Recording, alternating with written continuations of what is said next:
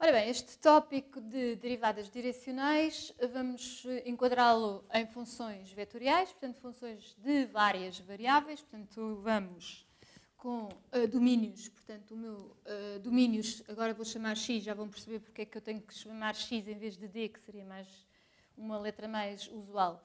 Uh, vai de um domínio de em Rn para o Rm, portanto, é uma função de m variáveis e estamos interessados em definir, em definir o que é a derivada direcional de uma função destas, de uma função vetorial, num ponto do domínio para uma dada direção uh, do domínio, em, em, RN, aliás, para qualquer vetor, nem precisa estar no domínio, com um vetor. Então, o conceito uh, de derivada, como qualquer conceito que tem a ver com derivada, é, uh, vem como um limite, portanto, temos que fazer um limite quando variamos um dos argumentos uh, da função, portanto já vamos ver que isto vai ser, podemos escrever assim, portanto vamos fazer o, a função f uh, a partir de a, certo? E vamos variar este argumento da função em hv, portanto vamos, uh, este, este h que depois vamos fazer tender para zero aparece aqui associado exatamente à direção v em que queremos estudar a variação da função. Portanto, isto é o que temos que estudar, é como é que esta diferença se comporta uh, versus um H, portanto, sobre um H, em que este H tende para zero. Pronto, e é este limite que eu às vezes gosto de chamar com esta notação, portanto, é por isso que não chamei dele em cima, portanto, será a derivada da função f no ponto A na direção de V, certo? Portanto, para usar esta notação não posso pegar em D para o domínio. Isto uh, pode, é uh, a definição. Tenho que trocar de caneta aqui também, porque esta já não está a escrever bem. Estas canetas estão a ficar todas um bocado gastas. Uh, o que é que eu queria dizer agora? Exato. Olhando para esta definição, é fácil de ver que, em particular, não é? Em particular, se nós pegamos num vetor direção V a coincidir com um dos vetores canónicos, vou chamar vetores EJ, certo? Uh, J são os vetores canónicos 1, 2, etc. até n. Portanto, se pegarmos numa direção canónica, esta definição de derivada parcial vai uh, colar com a definição de derivada. Vamos, por exemplo, pegar uh, na direção E1, certo? Do vetor canónico 1, 0, 0, 0, 0. Primeira direção. Portanto, aquela, uh, naquela direção vamos ficar com derivada parcial, que, cuja notação mais usual também é d, dx1, da função f, portanto vamos fazer derivada parcial em ordem à primeira variável de f, uh, pode ser no ponto A, certo? Portanto, de f em A e que já sabíamos uh, que era exatamente dada pelo limite quando o H tende para zero, às vezes também se usa a letra T, uh, ou H ou T são as notações mais usuais, e vamos fazer variar o H, uh, vamos fazer variar o argumento à volta do A na direção do vetor E1. Portanto, isto é a definição de derivada parcial em ordem à primeira variável que chamamos x1, certo? Depois há de ser eh, a derivada parcial em ordem a x2, etc, etc.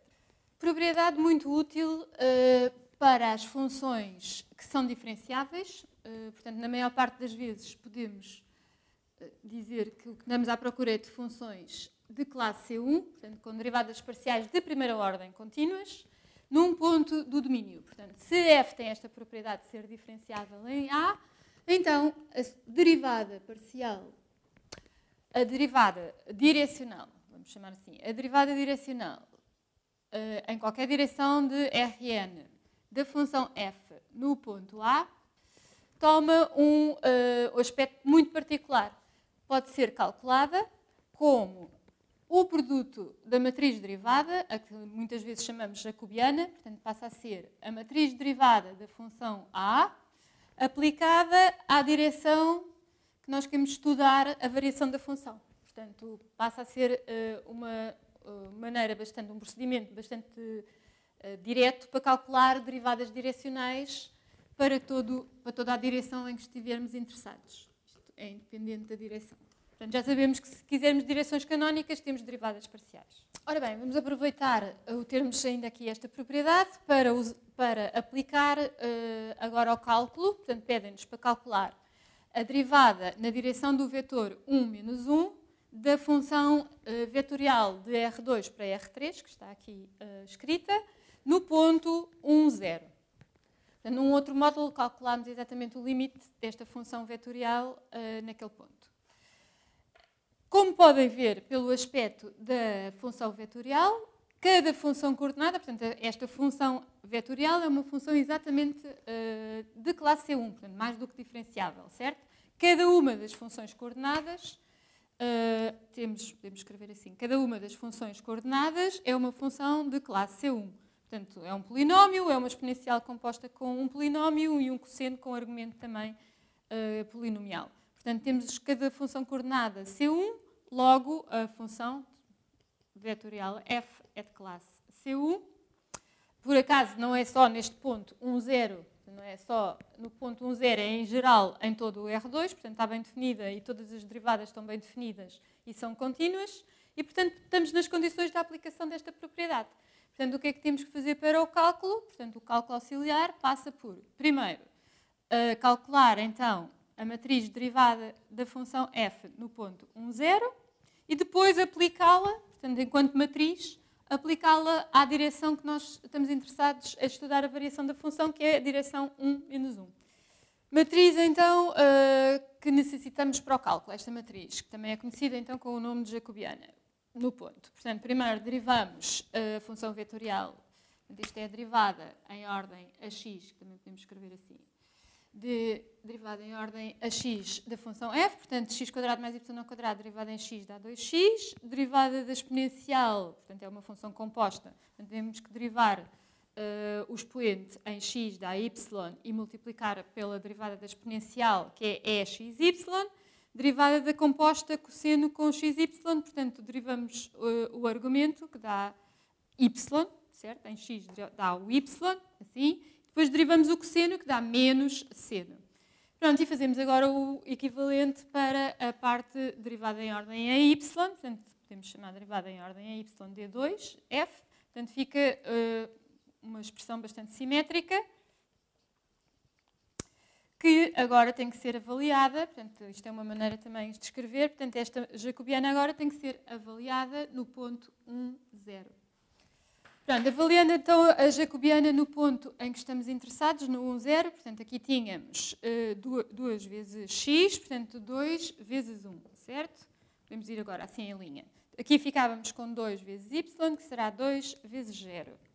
Depois uh, tínhamos a uh, y, y, que é zero, vezes a exponencial do produto, que dá zero. Portanto, aqui temos, uh, uh, temos x, que dá 1, vezes a exponencial elevada a zero, certo? Vezes o e elevado a zero, exponencial de zero. Aqui temos uh, menos y, certo? Se não estou enganada, temos menos y, ora o y é zero, seno de zero. E aqui ficamos com um seno de zero. Portanto, estamos a avaliar uh, a função derivada no ponto 1, 0, já podemos apagar isto.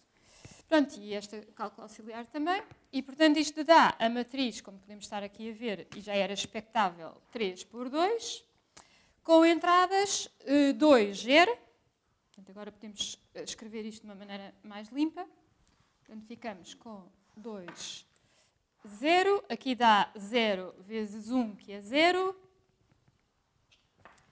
Aqui ficamos com 1. Aqui ficamos com 0, não há dúvida nenhuma. Entrada aqui na terceira linha, 0. E finalmente, sendo 0 é 0, portanto a última entrada é 0. E aqui temos a matriz que vamos aplicar agora à direção 1 menos 1. Último passo eh, que nos vai dar o resultado e a resposta. Portanto, temos que fazer agora a aplicação da matriz derivada ao vetor direção. Portanto, o vetor direção é 1 menos 1. Isto agora é o produto de uma matriz 3 por 2 por um vetor, que é uma, que é uma matriz, se quisermos, coluna 2 por 1, e, portanto, o resultado vai dar uh, 3 por 1, certo? Portanto, uh, a derivada vai dar uh, um vetor, certo? Portanto, agora, se quisermos multiplicação linha-coluna, portanto, isto fica 2, depois fica menos 1 e aqui fica 0. Portanto, como é que podemos interpretar este resultado? Derivada direcional uh, dá o vetor 2 menos 1, 0. Como é que podemos interpretar, digamos isto, talvez geometricamente? Portanto, quando estamos a fazer uh, variações em torno do 1, 0 nesta direção, não é? Portanto, a primeira função coordenada vai ter uma variação positiva, positiva e uh, de, com valor absoluto 2. A segunda função coordenada vai ter uma variação negativa em torno, portanto, relativamente à função avaliada no ponto uh, 1, 0 e de valor absoluto 1, e a terceira função coordenada não se altera uh, em torno deste ponto na direção do 1 menos 1.